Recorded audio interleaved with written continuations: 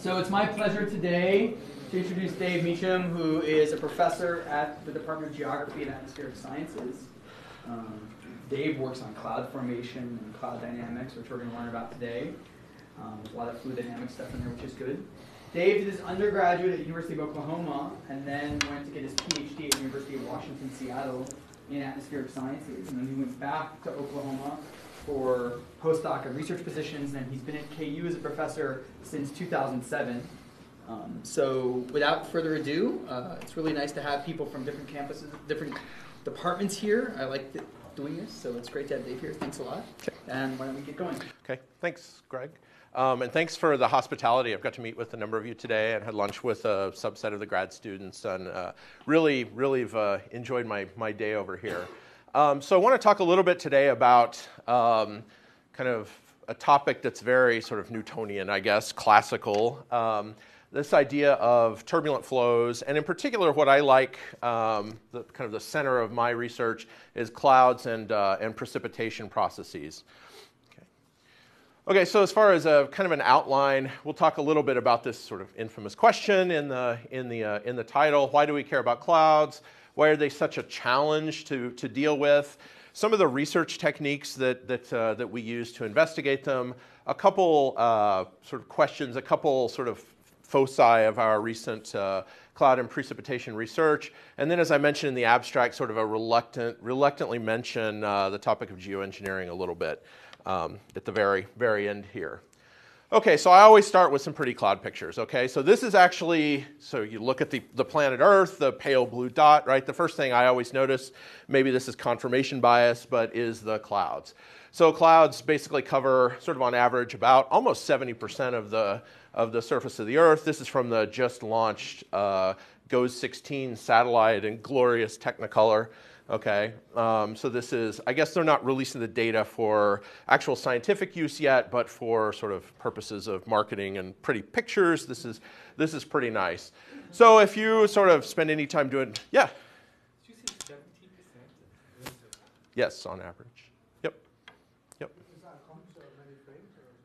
So this is no, this is a this is a single hemispheric shot. So it's a geostationary in a geostationary orbit. So yeah, this one is not a composite. It's just a kind of a single single frame. Probably put together. I'm guessing over maybe 15 minute of spin scan scan cycle. Okay. Um, okay. So um, for those of us sort of raised on meteorology, sort of all we do is look at the clouds. So you can see all sorts of you know cloud animals. You can see this is one of my favorites. This is my crocodile kind of crocodile cloud. Okay. Um, yeah, exactly. funny, funny, fairly innocuous here. Um, so growing up, at, so a little bit of my sort of little bit of my background. I'm from Central Oklahoma. I grew up in Oklahoma City. So the reason um, atmospheric science is such a popular thing to study in this part of the country, frankly, is because of severe weather. Okay, and so this is a cloud too, right? This is a big supercell thunderstorm and then a tornado. Um, sort of zoom in. This is your mild-mannered colloquium speaker here. That's not a. That's truly not a mullet, right? It's a. I'm actually. We're actually in like 35 knot sort of storm, really strong storm inflow. Um, it's just making me look like I have a have a mullet. This fine. this fine fellow is a well-regarded professor at University of North Dakota too. So um, anyway, so this is a, a, pretty famous day. This is April 26, 91, taken uh, when I was an undergrad at OU. This is for those of you that have been kind of around this part of the country. This was a storm kind of in northern Oklahoma, but this same day there was a storm that passed through Wichita and Andover, Kansas, and killed a bunch of people in Andover at a trailer trailer park uh, there, sort of east of uh, east of Wichita. Okay, so this is kind of from from humble upbringings. Uh, chasing tornadoes to doing low clouds. Okay, so this is a high resolution um, satellite image of of kind of coastal low clouds. So low clouds are going to be the focus of what I'm talking about today, and I'll sort of explain why here in a, um, here in a minute. Okay. Okay, so I've done a lot over my kind of scientific, uh, scientific career, a lot of studying of marine clouds, okay? Particularly clouds here sort of across, in particular across the Pacific. So this is North America, South America, so if you take kind of a, a, a sort of cross section across the Pacific from off either the coast of South America or the coast of North America, kind of westward and equatorward. And you kind of look at kind of the on average cloud conditions, you see something like this. So, right next to the coast of, of Chile, right? I could draw the telescopes up here somewhere high, high altitude, right? Um, we have these low clouds, we call stratocumulus, sort of solid deck of, of, uh, of low clouds. And as you move over warmer and warmer water, as you move toward the tropics and, uh, um, and equatorward, the sort of clouds tend to deepen, they break up into what we call trade cumulus or shallow cumulus clouds. So we have these cloud regime transitions. As you move further and further west, okay, the war- water gets warmer and warmer. The sort of warmest sea surface temperature on the planet is located over here in the Western Pacific warm pool region. And then you get sort of deep convective towers um, forming there. And as part of that, you have this sort of Hadley, kind of what we call the Hadley Walker circulation. Upward motion here, what goes up must come down. So you have kind of compensating downward motion over here in the, in the uh, kind of stratocumulus and trade cumulus, uh, trade cumulus regime. So one of the things we're after is trying to understand, of course, the behavior of each individual cloud types, but also this kind of more holistically, this, uh, this transition here, okay? So I'm mainly going to talk about kind of two basic cloud types. One is the strat- stratocumulus clouds. Okay, these are low clouds. These are about a kilometer or shallower. So this is from a field campaign in 2001. Um, this is from the kind of front, the flight deck of a C-130 looking sort of left and to the, uh, to the rear. You see these are kind of, it's stratus, so it's layered, but it's cumulus because there's puffiness in here. And what these are, this is basically indic- indicative of um, strong kind of turbulent flow, okay? And then we can look at, I won't go too much into this, but this idea, so this is sort of a vertical cross section of the structure of these clouds. So it's sort of topped, this particular case is topped at about 850 meters. The cloud deck is about two or 300 meters deep. Um, and the main thing I want to focus on now is that this is a boundary layer cloud. So when I talk about atmospheric boundary layer, it's the part of the atmospheric flow that's influenced by the surface. Okay, so there's a lot of sort of turbulence, what we'd call turbulence involved here. This is a turbulent, turbulent flow. And these clouds are kind of interesting. I mean, they look very sort of robust, but it turns out these clouds are kind of a delicate balance between a surface source of moisture coming off of the ocean surface, and then this sort of free troposphere up where the airplane is flying is very dry. And since this is sort of a turbulent cloud layer, you're sort of entraining this dry free tropospheric air into the cloud and trying to dry it out. So you have these two competing effects this surface moisture source trying to sort of sustain the cloud, and the entrainment trying to dry it out, right? And whichever one wins depends on kind of sets the equilibrium cloud thickness or whether there's cloud um, there at all. Okay? Okay, as you move a little bit further toward the west, toward warmer water, you get more broken clouds. So you get this kind of shallow cumulus cloud. It's easier for you up front maybe to see. There's a nice little rainbow here. Um, and it's actually, obviously, because there's a rainbow here, it's precipitating. Okay? And so these also have a certain thermodynamic structure. Down here, it's sort of well mixed and turbulent. Up here, it tends to be sort of less turbulent. Okay? But you do have kind of strong, an updraft here moving upward and then mixing in environmental air from outside, outside of this cloud. Okay? So I'm going to kind of talk, kind of, this talk will sort of revolve around um, kind of both these cloud types. Okay, and this isn't contrary to what, um, what some of my colleagues in my own department believe. We're not just interested in this, these clouds because they take us to nice places, right? This is a coast of San, San Diego. Um, in fact, that, that, uh, that C-130 flight deck photo um, was from a field project where we were stationed at North Island Naval Air Station on Coronado. But these are typically kind of on west coasts and in kind of tropical regions. Okay? So that's not the case, trust me. So why do we care about clouds? Okay, and in particular, again, I'm focusing on low clouds, but you know, this could be more broadly, you know, pitched as why we care about clouds just in general. Okay, so high clouds and low clouds affect the climate differently. Okay, obviously, if you, you sort of look at these global pictures of clouds, you know they have incredibly high albedo, so they reflect, um, scatter back to space a substantial amount of solar radiation. So this plot here is basically on the x-axis is cloud optical depth, so you can just think of it sort of naively maybe as cloud thickness. So thicker cloud toward the right, and the y-axis is higher cloud top. Okay, so if you look at just low clouds, they cool, right? All of them cool. Thinner clouds cool less. Thicker clouds cool more. Okay, high clouds. This may seem a little counterintuitive, but actually warm the climate quite a bit. Okay, and this has to do with yes, they cut down on the solar radiation entering the Earth system. Okay, but they're also rather opaque to uh, to the long wave okay?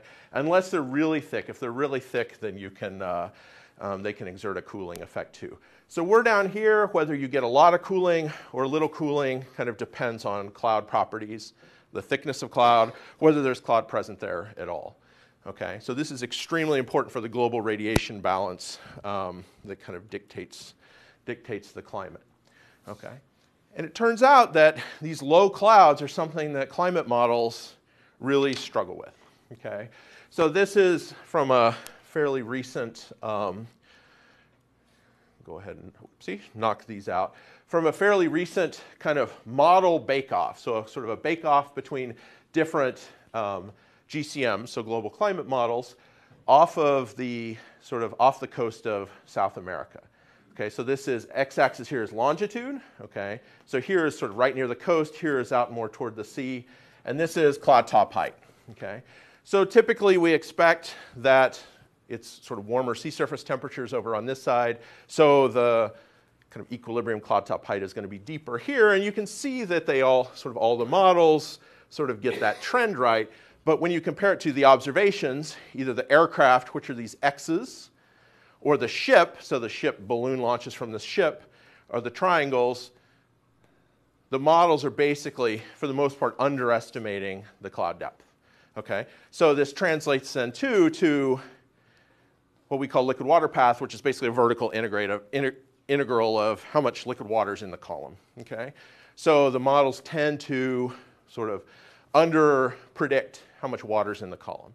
Okay, and so this is these are kind of geophysical quantities, but then when you do a radiative transfer calculation, you see that that basically then it's going to uh, um, basically going to uh, have a bias in the radiation, the shortwave radiation uh, uh, flux as well. Okay, so these are something that the models still still kind of struggle with, and so this seems to be a persistent problem. If you go back to the what we call the the the AR4 report, okay, you, you can just pull this out of the of the working group one report. So cloud feedbacks, particularly low-level cloud, are, are, are, have been confirmed as a primary source of climate sensitivity, sensitivity differences. And then even the most recent one, the AR5, the fifth, fifth assessment report, this problem is still present, okay? Um, so this is kind of kind of an issue we, that, that we struggle with.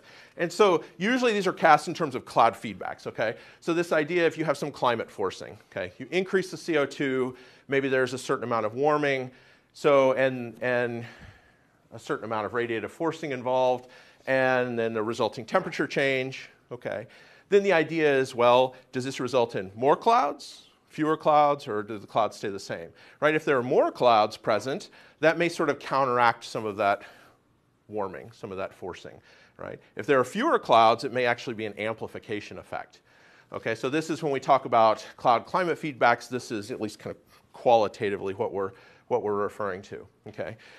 So what we so the issue here is if we look at the feedback from the AR4, this 2007 report, okay, this feedback sort of parameter is between zero and sort of two. The units here don't matter too much, watts per square meter per degree, okay, but you see that it's basically not quite uniformly, but almost uniformly positive, but you see this huge sort of uncertainty band, right? And this is the C is for cloud. There's other feedback effects, so water vapor and albedo and lapse rate. We don't really care about these right now. So we see this positive run, okay? So then we see this, you go write your proposals. Imagine you're in 2007, you go write your proposals and say, oh, we're going to try to improve improve this, right, kind of hammer this uncertainty down. But then the most recent sort of AR5 report, and this has actually the cloud sort of broken up, but all we care about is the total cloud, and the uncertainty hasn't really gone down too much. Okay? So, I mean, in the, I don't know, maybe in the, the words of, uh, of uh, somebody, is, you know, we're fired, or I don't know. But, but it seems like we need to be making better and perhaps quicker headway in, in, this, uh, in this issue. Okay? So I'm, what'd you say? Yeah, somewhat of a slightly a different, yeah, somewhat of a different scale, right? So this is, but this is sort of zero to one and a half, and then sort of zero to one and a half. So, um, so yeah, I have these data sort of in a table, but it's, uh, it's gone down a teeny bit, but not as much as for something that everybody knows is a problem um, and that a lot of smart people are working on. We haven't made as much progress on this as, as I think we would have hoped.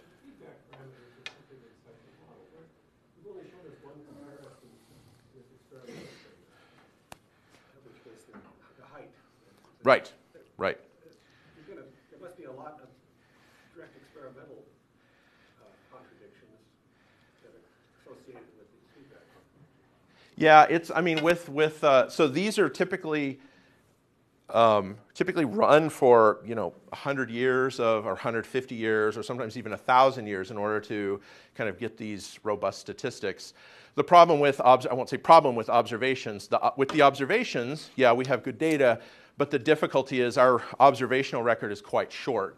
And in addition to a po- possible sort of you know anthropogenic signal that we're looking for, there's also a lot of background kind of waves kind of sloshing around like El Nino or the Pacific Decadal Oscillation. So it's really a challenge um, with, with, the, uh, with the observations, um, with just the, the short observational record. Um, so yeah, but yes, I am just kind of showing the, the result from the, um, from the, different, uh, from the different models. Okay. Okay. So we're looking at mainly short, short, or sorry, low clouds because uh, these tend to be what have been kind of fingered as being the most important um, kind of component of the cloud, the, the cloud problem. Okay. So what we do, so my group tends to, um, we don't run climate models ourselves. We have run some regional climate models looking at, at some, uh, some kind of central US kind of regional climate questions. But on the cloud side of things, predominantly what we do is to sort of take a step back behind the front lines a little bit and sort of acknowledging that the models kind of struggle with these, uh, with representing the clouds. So what we do is try to seek um, improving the fundamental knowledge of how cloud and precipitation processes work, okay, across a variety of scales, and then figuring out better ways to resolve them, or to, sorry, represent them in climate models. Okay, climate models have sort of an effective grid spacing of maybe a degree of latitude, so maybe a box uh, with grid points maybe every 100 kilometers or so. And you know if you've ever stepped outside, you know, a typical cloud, even a big thunderstorm is going to be much smaller than that. So it's a subgrid scale process that has to be modeled or kind of in, the, in our jargon parameterized. Okay?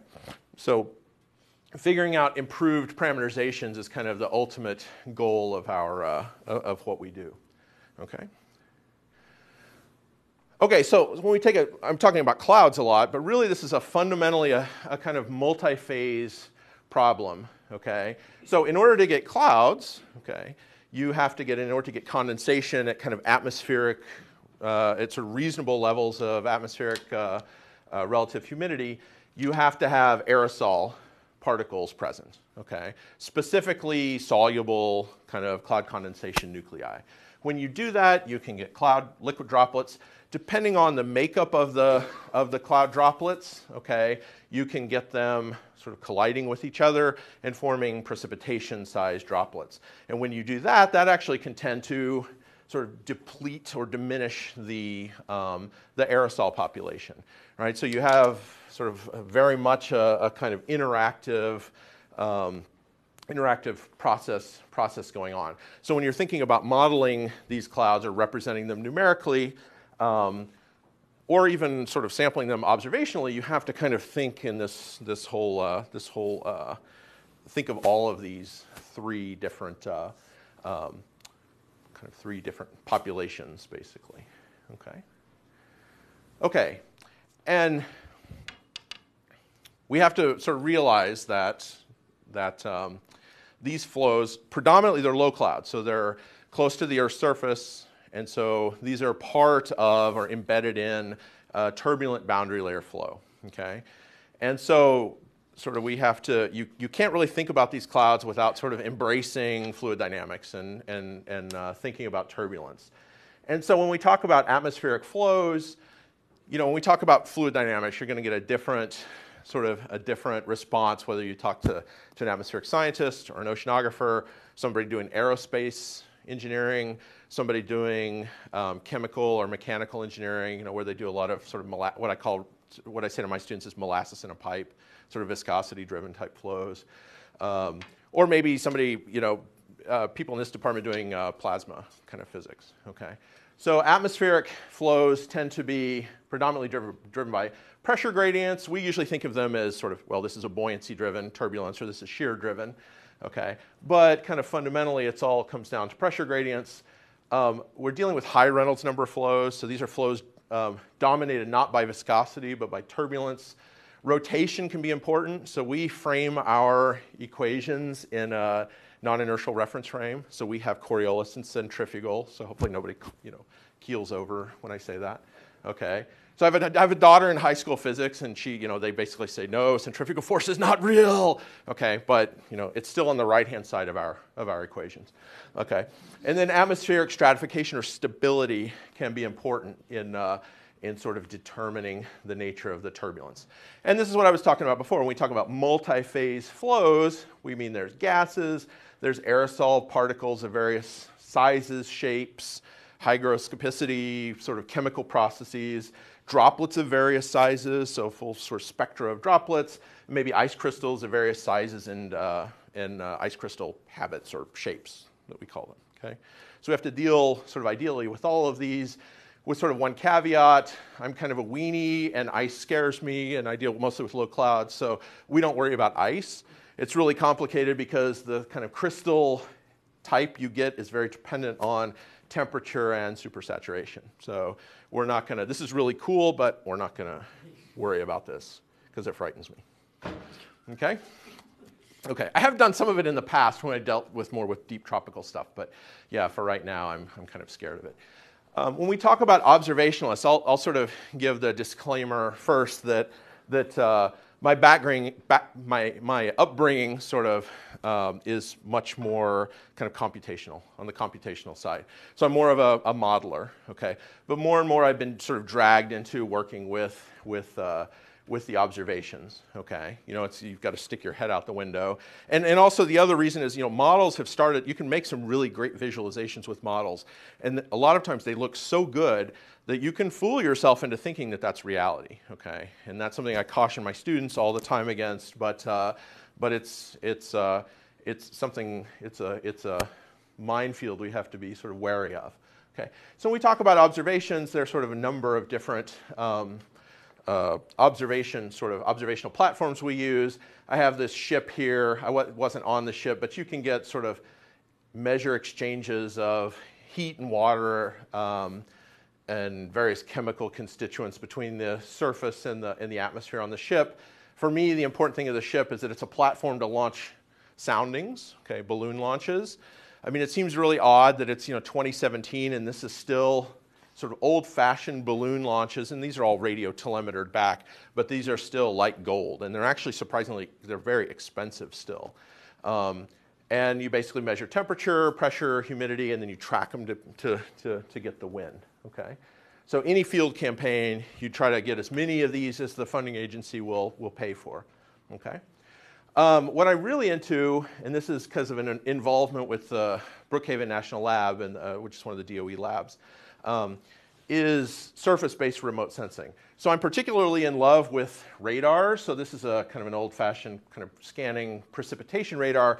But what I really love are these uh, high-frequency cloud radar. So this is like a 35 gigahertz. This is 95 gigahertz um, cloud radar. So they're sensitive enough to pick up cloud-sized droplets, like 10 micron-sized droplets, and they're all Doppler, so they can measure the um, velocity sort of toward and away from, of the scatterers. So these are profiling instruments, so they basically just scan every couple seconds to see what's, um, what's above it. And then a couple other instruments, so LIDARs that can kind of give you information about cloud boundaries, and then microwave radiometers, which are sort of two or three channel instruments that, uh, um, that kind of give you information about the microwave uh, brightness temperatures, and from that you can, uh, you can sort of back out or retrieve sort of integrated, like how much water vapor is in the column and how much liquid water is in the column.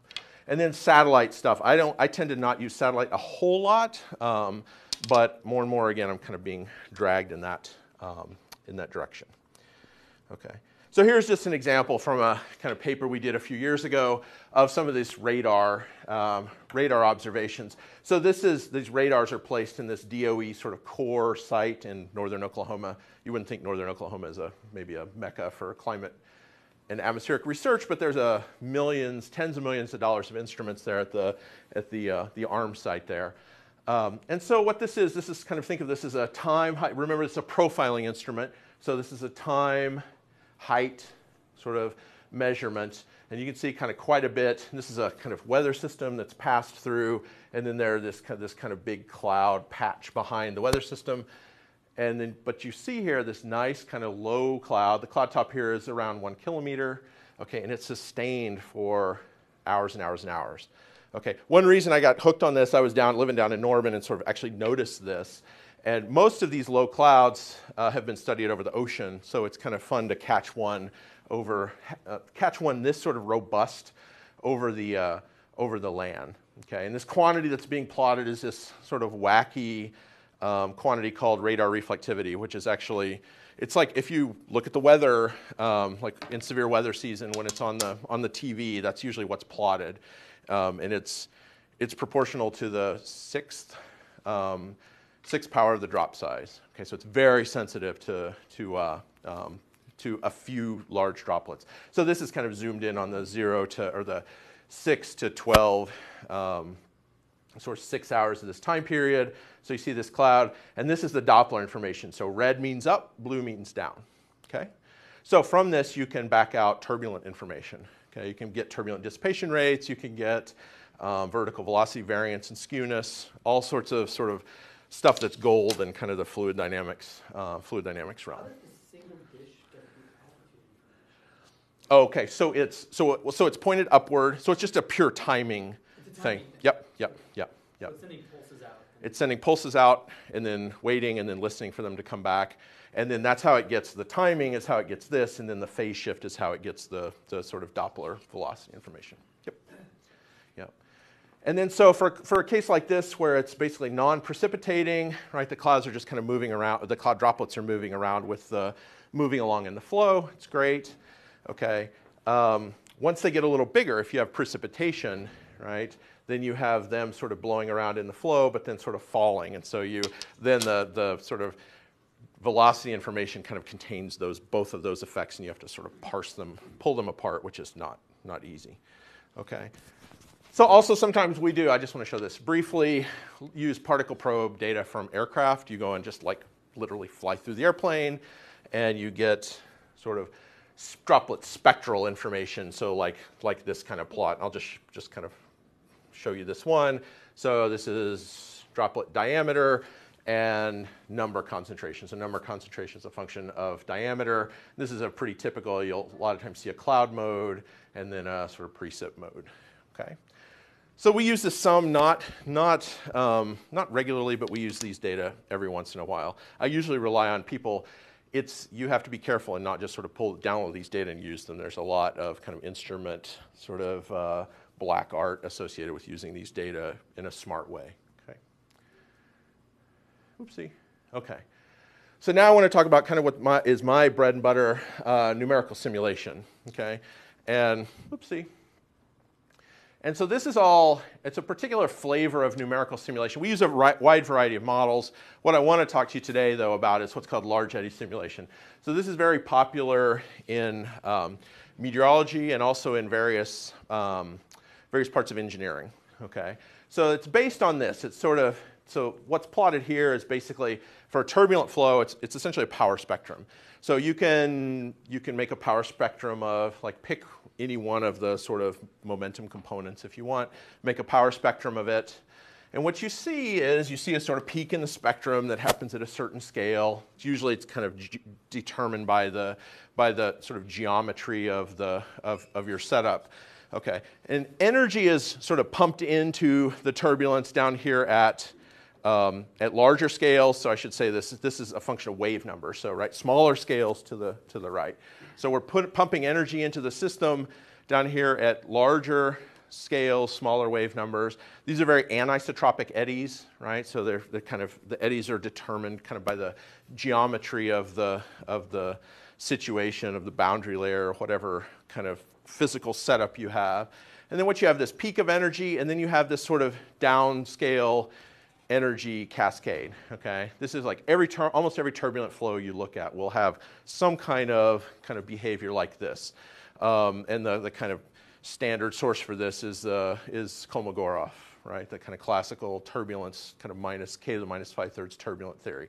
So a model, ideally, you know, if you think, oh, I've got to make a model, right? It has to resolve all of this, okay? Which is a bit terrifying. These are large wave numbers in very small scales, and this is down to scales of like molecular viscosity, which in the atmosphere, you know, like millimeter size, right? So we're not going to be able to run our cloud model at millimeter grid spacings, okay? So what we do is this idea of called large eddy simulation. We pick somewhere around here where this power spectrum is nice and kind of evenly sloped, and we sort of say, we do a basically low pass filter on the flow, okay? And we say, okay, we're gonna try to resolve all this weird, difficult anisotropic stuff. And this over here, we're not gonna resolve it, we're gonna try to model it somehow okay? And then hope that, okay, well, it's nice and kind of isotropic and sort of easy. We should be able to, to model it. So this is sort of the basis of what's called uh, large eddy simulation. Okay, I won't go too, I mean, I have some equations here, but I mainly want to just kind of um, show sort of what we're sort of what we're up against. So this is the, these are all Navier-Stokes equations. This is, this is the momentum equation if you want to quibble and say that's not momentum, that's u. So this is sort of U is one, two, three for the three components of the flow. And then I've left out the summation. We summation over the, the J's. Okay, so kind of typical tensor kind of notation. So I just want to show you sort of, for those of you either who haven't seen or are rusty on kind of fluid dynamics, just the different terms. So this is the local time rate of change. This is what we call advection. Some people call this convection. Convection is reserved for something different in, in uh, meteorology and oceanography, but this is basically the flow moving itself around, right? This is old friend with pressure gradient. This you can probably guess is gravity. Okay, we call these forces, but in, when you do fluids, you express forces in terms of per unit mass, so the forces are really accelerations. Okay, this makes our students angry, but um, but uh, um, this is okay. We're doing this in a, as I mentioned, in a in our non-inertial reference frame, okay, because we're down here on the rotating Earth, so we have to sort of accept that. So this is Coriolis, and this is molecular viscosity. Okay, so now we do is do a low-pass filter on, on this. If you read the kind of classical, like mechanical engineering literature on LES, they're really careful about how they formulate this. We're a little more sloppy. We sort of kind of do a Reynolds averaging kind of procedure. You split everything up into sort of a, an average quantity and then sort of a perturbation quantity. And then you get sort of the filtered, filtered equation. So everything's barred, right? This is the fil- these are all the filtered quantities, except this term over here, okay? What we do, we throw out the viscosity. Okay, most of our numeric, numerical schemes are dissipative enough that we can eh, just not worry about that.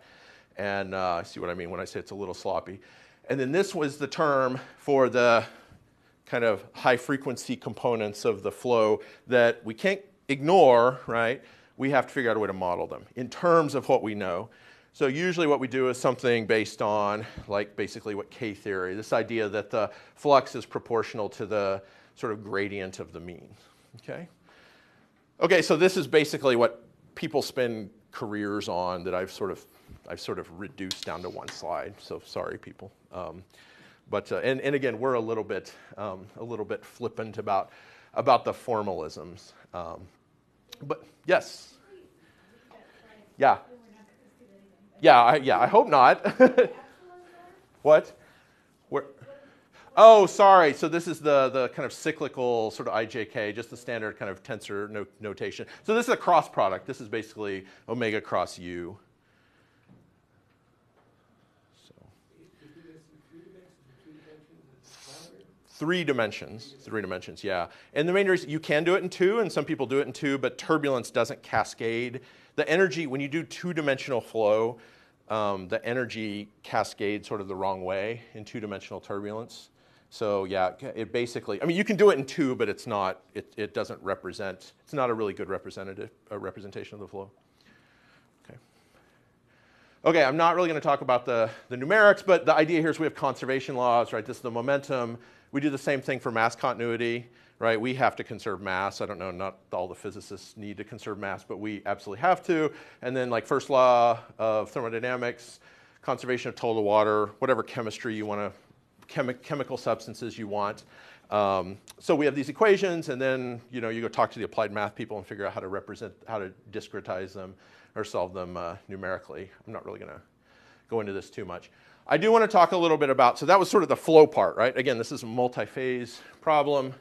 I want to talk a little bit about microphysics. So this is cloud, like droplet growth and precipitation process. I'm going to sort of reduce my whole career down to one sort of slide with no formulas or pretty pictures. Okay, we have to represent, if we're going to do clouds in the model, we have to re- represent nucleation of droplets. Right? So we have to have some aerosol and figure out how those aerosol nucleate droplets. We have condensational growth of the small droplets up to kind of cloud-sized droplets. We have coalescence, right? They want to be, some, of sometimes they want to be gregarious and get together and coalesce. If they're big enough, we may have droplet, droplet breakup and then maybe evaporation.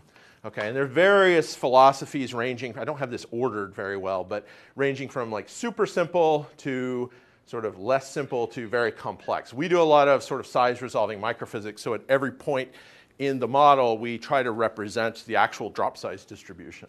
Um, so this is what kind of what we what we try to do. Okay, so we do fluid fluid prop, prop or uh, kind of fluid flow problems. We get a lot of kind of kind of uh, questions from the IT people say, saying, oh, you know, you can just do it on the cloud, man. But this stuff, this is all the fluid flow problems, whether it's us or people in aerospace, you have to have kind of a traditional, still a traditional kind of cluster with a high-speed interconnect. So there's a lot of kind of CS, kind of parallel computing component to, uh, um, to what we do.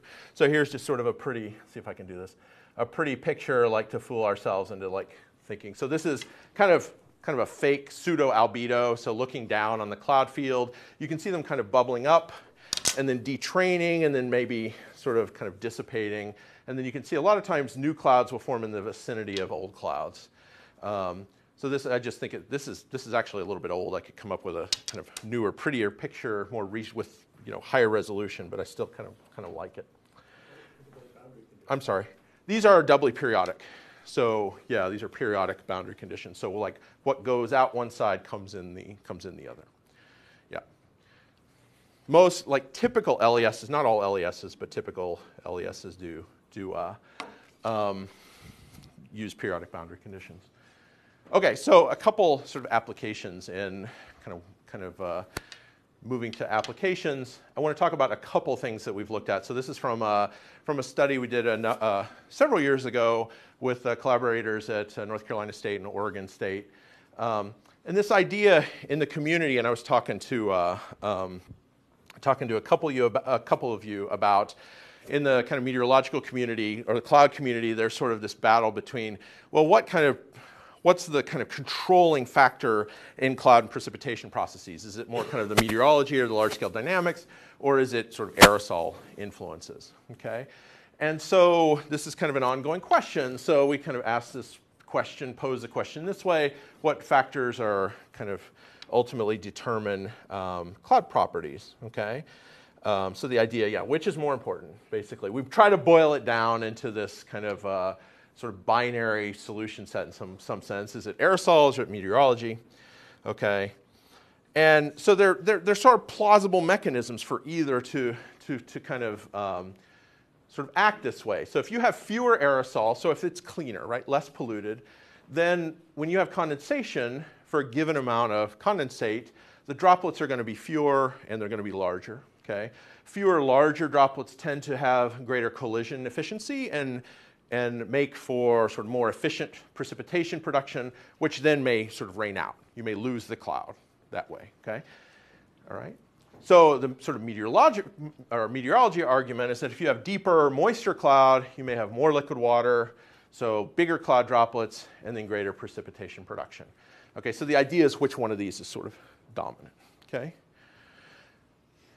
And so this is always a danger with modelers. There are, there are a lot of studies out there where they'll do they'll test the aerosol sensitivity and they'll do like 100 or 100 versus 1,000, right? You can always sort of cook the books that way when you do models, right? This is the whole beauty of models. It's the way we do controlled sort of it's in, in meteorology it's the only way we have sort of true experimental control it's sort of our lab okay um, so what we do, though, is have everything the same, but vary. In this case, vary sort of the meteorology. In this case, how deep is the cloud? Okay, and we vary the aerosol, which we CCN is cloud condensation nuclei. It's sort of the cloud active aerosol. So we vary the aerosol. Okay, but we do it. We want to be very careful and do it in such a way that's observationally constrained. Okay, so we kind of constrain this variation based on the observed distributions of these quantities from a, from a nice field campaign that took place back in 2008. The top is actually data. Yeah, yeah, yeah. So these are, these are observations from the ship off of the coast of, of South America. So these are how we sort of constrain our change, our parameter changes for our sensitivity experiments. Okay. Okay, because otherwise you can kind of cook the books and make, make, sort of make whatever you want. Okay, so this is just the, we produce sort of, this is a, like a kind of, this is model. Okay, this sort of a, looks like a radar, kind of radar image, and it produces nice vertical slices that sort of look like the, look like the cloud radar. And what we've shown that, what we've shown is, it kind of produced what was basically in line with our, our hypothesis, this idea that, okay, the, the sort of deeper clouds precipitate more, the shallow ones precipitate yet less, okay? But it turns out the main difference of adding in extra aerosol is not that it sort of shuts down the precip, but it basically just kind of delays the onset. So this is a bit of a kind of surprising result, but I think it's, it's, it's, it's largely in line with our, um, with, our, uh, with our hypothesis. And as I mentioned, this is kind of an area of ongoing research with kind of two sort of sub-communities kind of, bat- I mean, fairly nicely but battling, um, battling it out a little bit. Okay. So another um, sort of issue that I want to briefly talk about is is so precipitation is important in these clouds. It's important in terms of the water budget, right? If you have precipitation, you can rain the cloud out, and there will be no cloud. Okay. Um, and when we talk about precipitation, I'm talking about precip rates that are like a millimeter per day. That's sort of moderate. Okay, that's not exactly sort of Noah's Ark kind of magnitudes, right? Um, but for these clouds, both in terms of the water budget and in terms of sort of energetics, it's, it's actually quite important.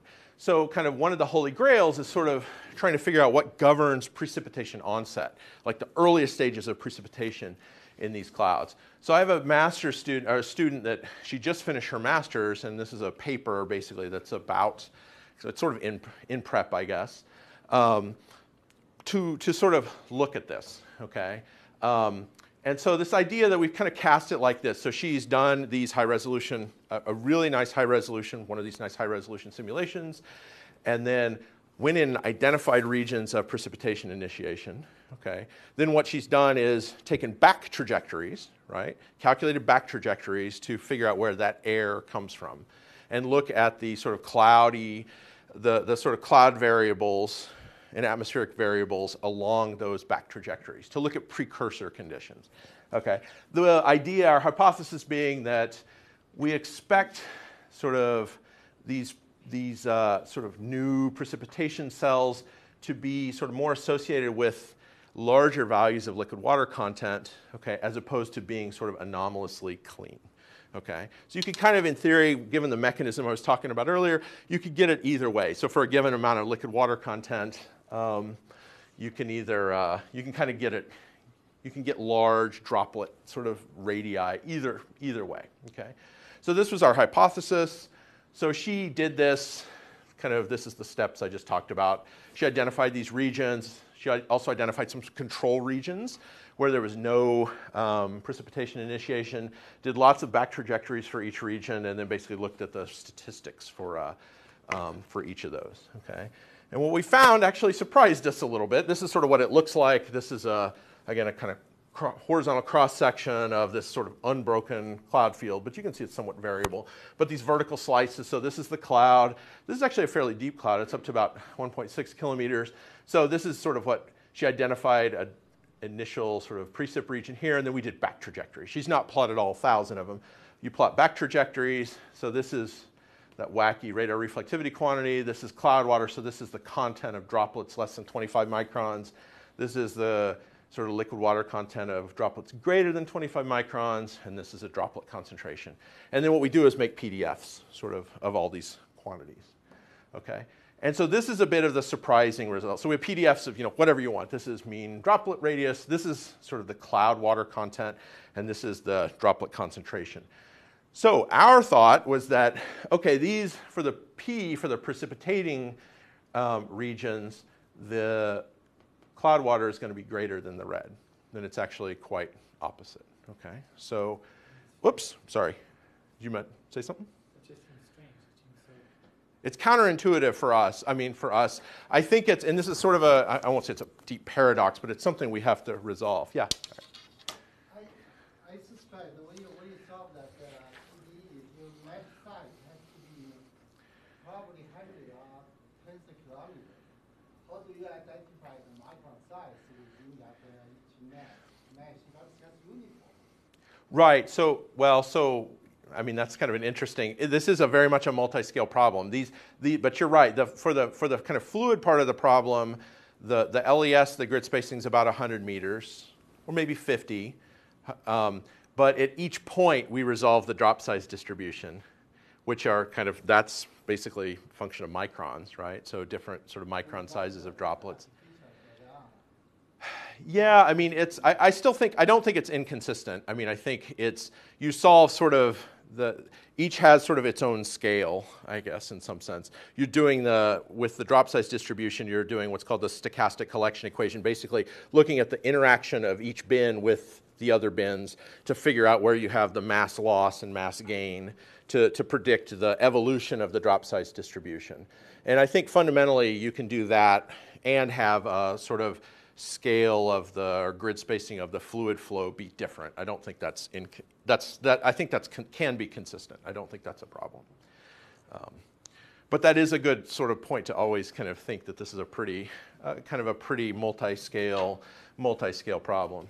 Okay.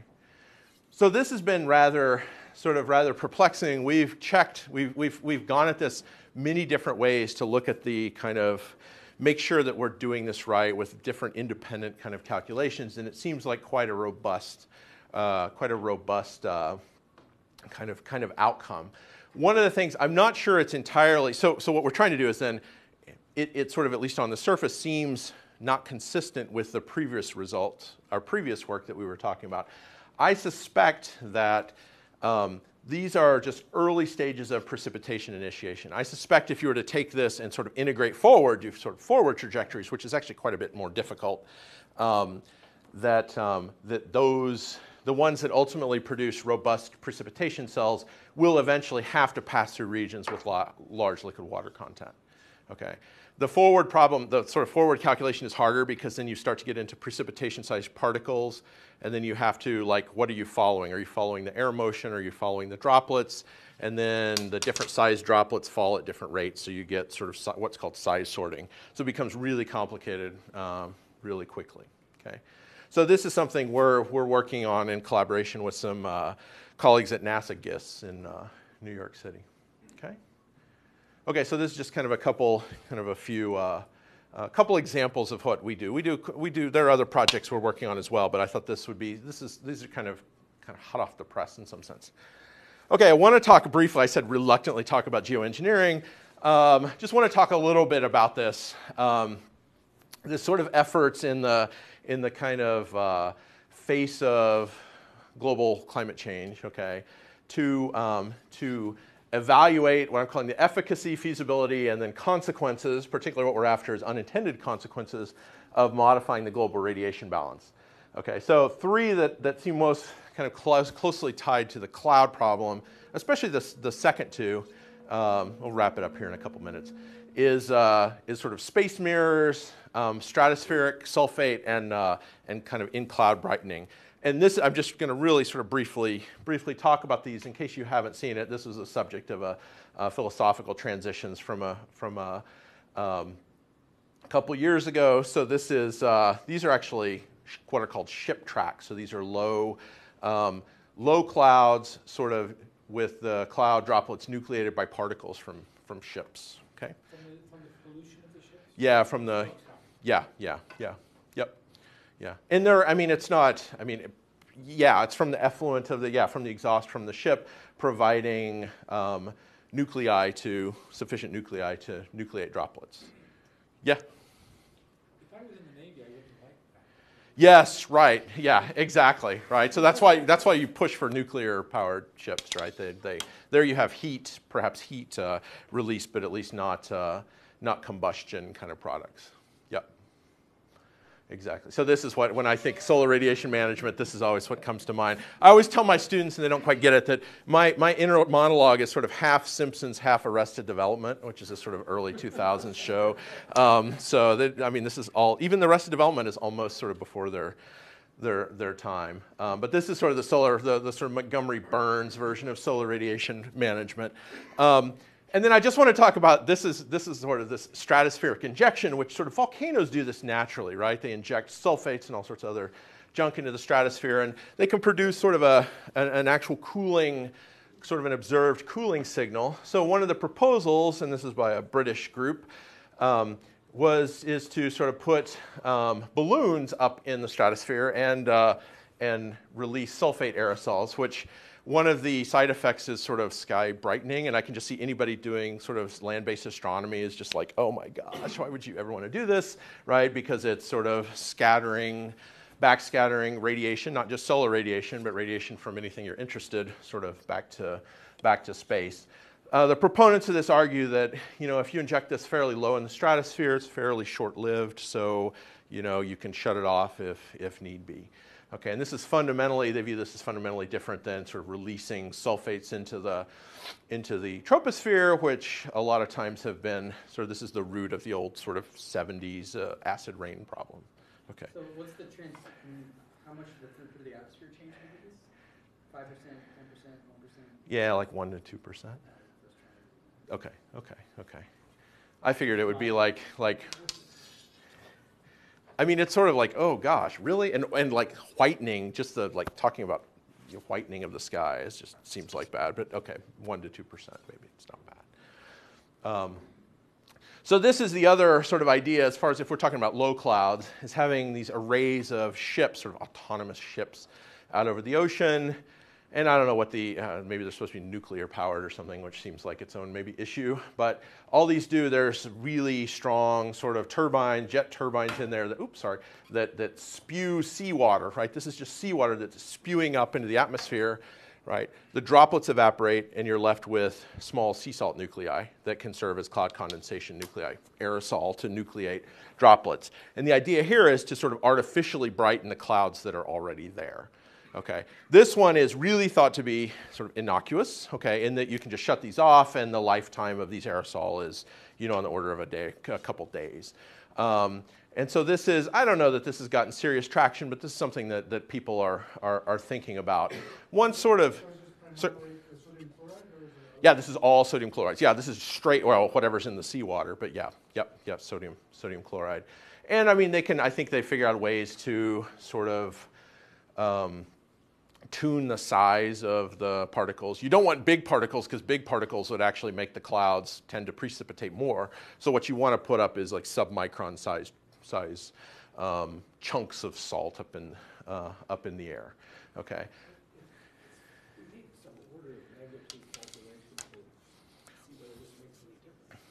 Yeah. So, I mean, so that's a. That. What'd you say?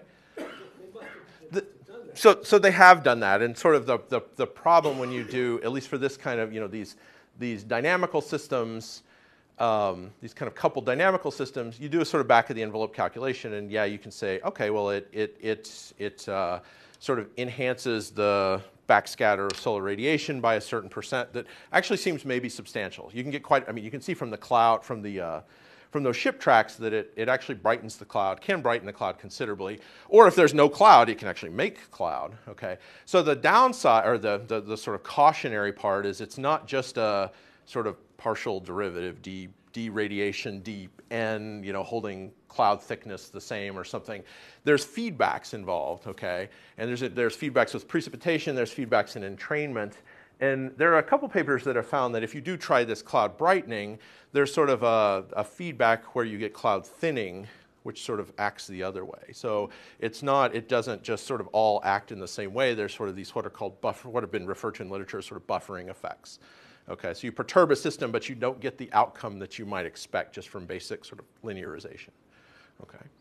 Okay, so I want to just kind of talk about this and, and sort of sort of if you've if you've seen these or heard of these, it's great. If not, you kind of know what some people are kind of out there out there thinking.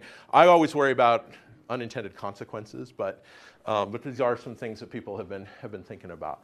Um, so I'll just leave these sort of concluding summaries on the board. And I want to thank everybody again. Thank you all again for having me over here. It's been it's been fun. So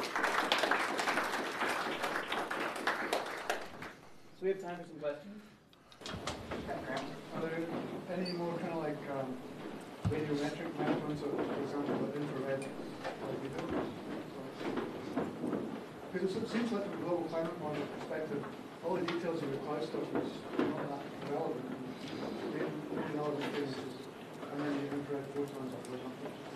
Yeah, right. So it's all uh, you. You want the incoming and out. Well, right now because we we've sort of increased the emissivity by cranking up the CO2. Right now there's there's sort of more incoming than there is outgoing because we're not at equilibrium.